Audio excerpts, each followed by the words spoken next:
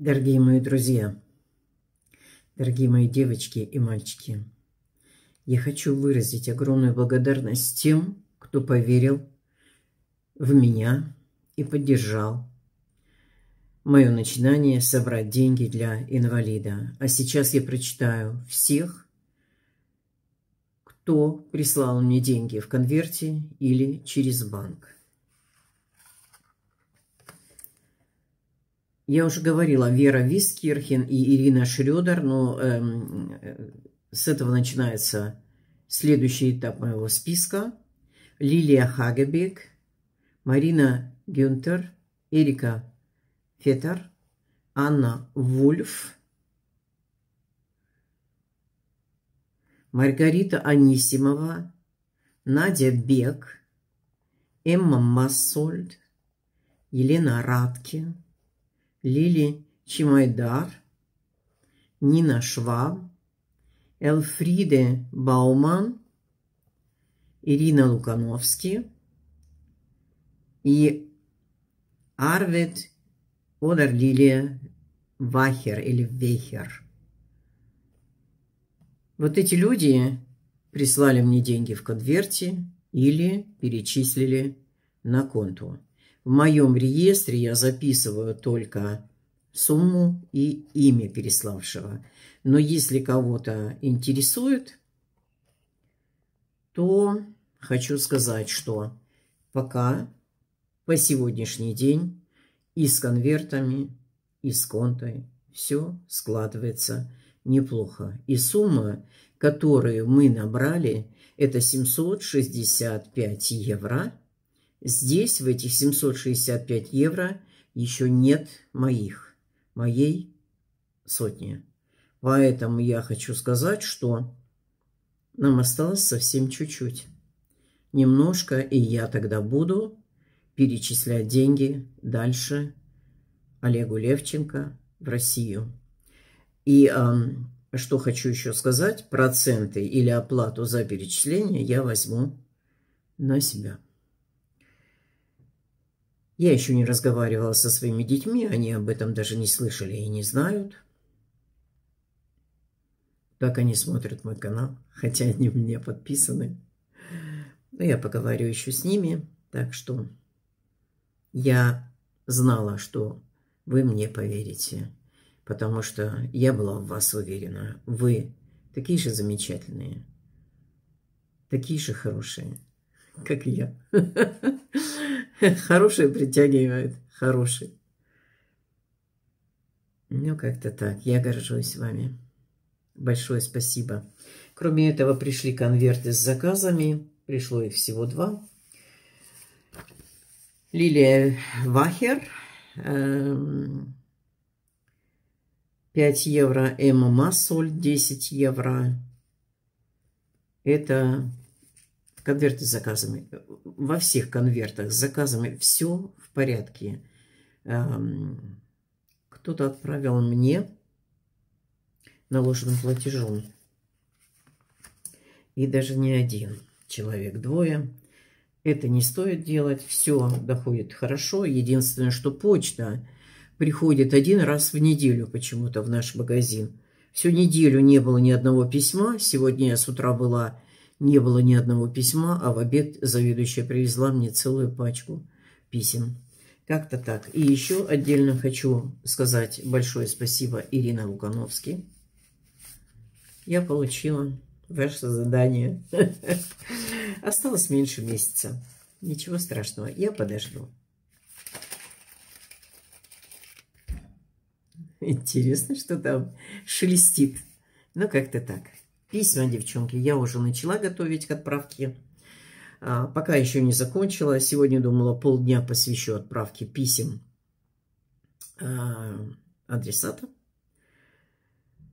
Ну, вмешались обстоятельства как-то так. До конца недели все будет отправлено. Меня это саму ест и давит. И думаю, что и вам тоже уже скажет, получилось все, и молчит, и ничего не делает безобразие. А сейчас я вас приглашаю в мой огород. Здравствуйте, хорошие люди, здравствуйте, мои подписчики, здравствуйте, гости мои, моего канала. У нас осень, самая настоящая осень. Вот смотрю на березу, на ней уже почти нет листьев. На рябине еще немножко есть, на вишне немножко есть, ну, но все-таки осень. А сейчас мы посмотрим, какая погода у нас будет на 7 ноября. Ну, как-то так. Розы уже отцвели, конечно, бегония еще в порядке.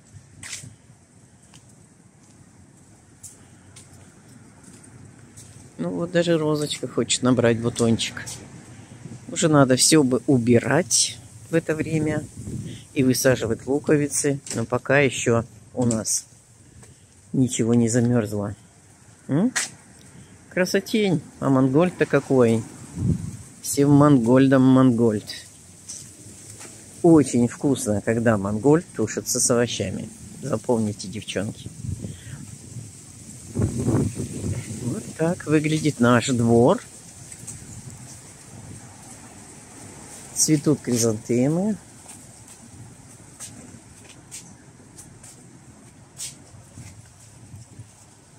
и с этой стороны тоже.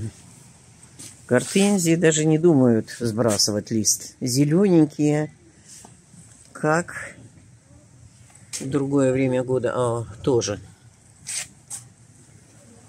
Вот так.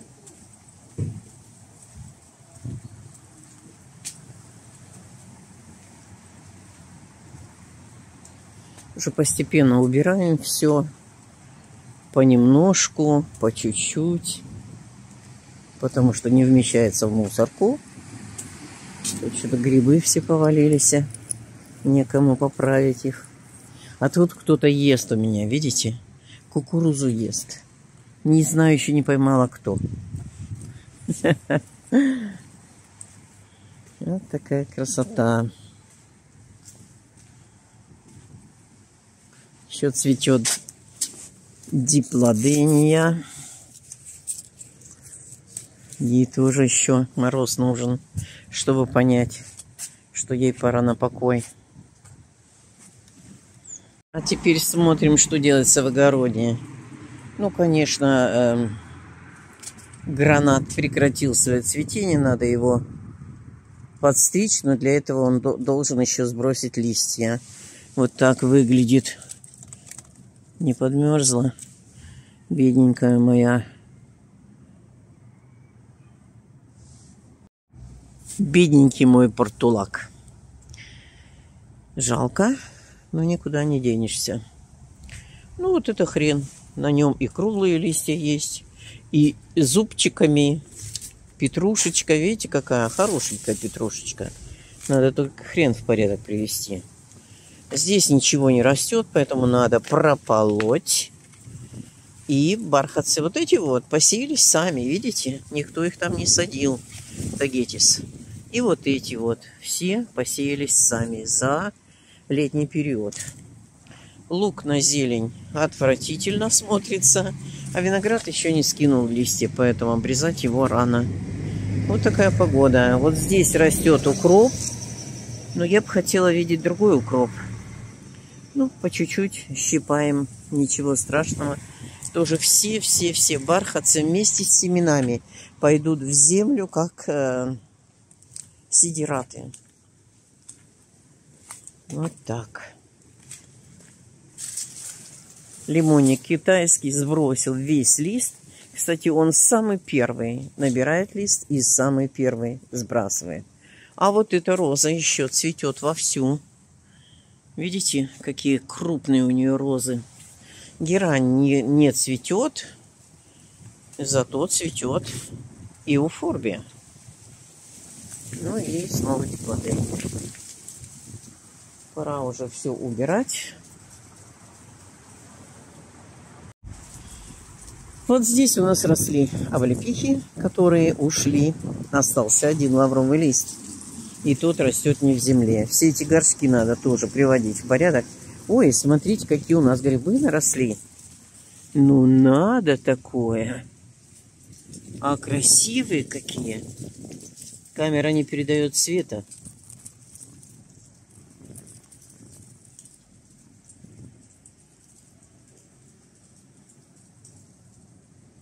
А они такие лососево-оранжевые.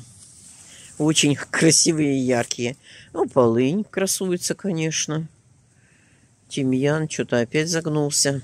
Такое у нас бывает часто. Вот так.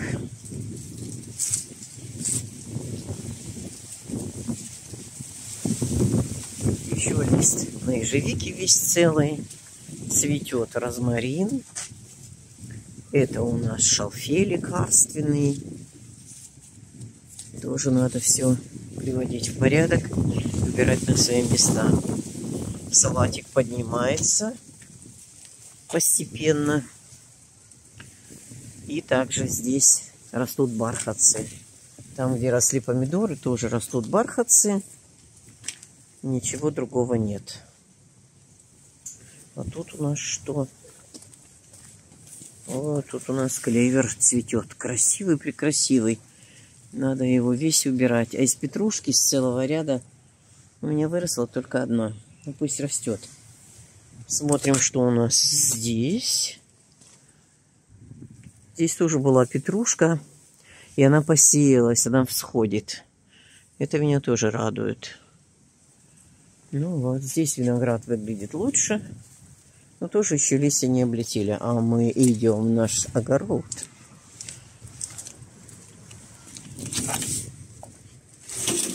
Сейчас мы будем убирать с вами последний урожай.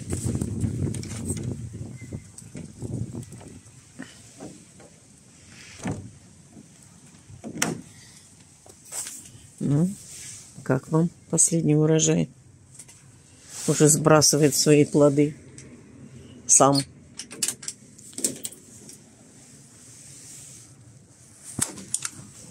Видите? Скинул еще один плод. А вот тут то, что я обрезала, пошел расти и даже набрал цвет. Ну, вот это калифорнийский перец. Сейчас я его обберу. Хватит ему уже, уже листики сбрасывает, там перчики лежат. А вот это перец из Алди тоже, я считаю, неплохой. А, вот. Ну и мой горький, всякий разный. Тоже соберем. Потом покажу, сколько получится. Вот этот называется гивюрц тагитис. Надо собрать семена, если они здесь живые. По-моему, не очень живые. Ну, пошли, надо работать времени отпущено мне очень мало всегда. Ну, такая красота у меня осталась. В теплице 17 градусов.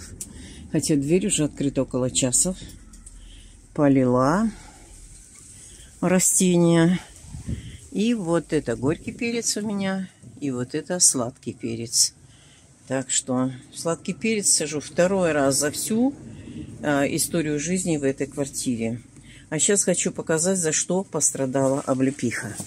За что мы ее убрали. Вот она, в теплице, видели? А за теплицей, видели? Это тоже все облепиха.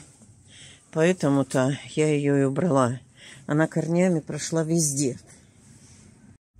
Она пришла и сюда. Вот тут, вот там. И вот там. Видите, маленькая. Вот это тоже облепиха. И вот теперь нужно ее убирать, чтобы она больше не появлялась на поверхности земли. Вот тут у меня вылезла картошка. Видели? Красота. Вот это место я определила для лука-батуна. Для этого нужно тоже все поубирать, абсолютно прополоть, перекопать, высадить батун. Может быть, я сделаю это завтра если успею. А вот тут на следующий год будут помидоры. Тоже нужно бархатцы туда порубить, перекопать. Ну, а первое время, пока не будет помидор, будет сидеть салат. Или еще что-нибудь хорошее. Идем дальше. Вот гортензия. Уже пожелтела, скоро сбросит листья. Это вишня. Вишня уже лист сбросила. Навести надо порядок на месте облепихи. И вишня пойдет на место облепихи. Ну, это терраса моих детей. Тоже уже пора кое-что убирать. А тут даже комнатные растения живут. И чувствуют себя неплохо. Вот такая красота. Вот вам Иуфорбия. И тоже цветет. Цветет лаванда. Цветет маргаритка. Борнхольм. Маргарита. И тут, смотрите, Борнхольм. Как она вылезла между двумя розами. Вот. Как-то так. Еще растет поцелуй герани в горшке. И даже цветет. Ну, надо все убрать. Нет, немножко не хватает времени, но надо все убирать. Ну, вот так. И проходит мой день за заботами, хлопотами, за э, каналом, который мне нужно э, продолжать вести дальше. Взялся за гуш, не говори, что не дюш. А с вами я прощаюсь и снова до завтра. До завтра, мои хорошие. До завтра, самые лучшие подписчики в мире. Ставьте лайки, подписывайтесь на мой канал. И до новых волнующих встреч. Всем пока-пока.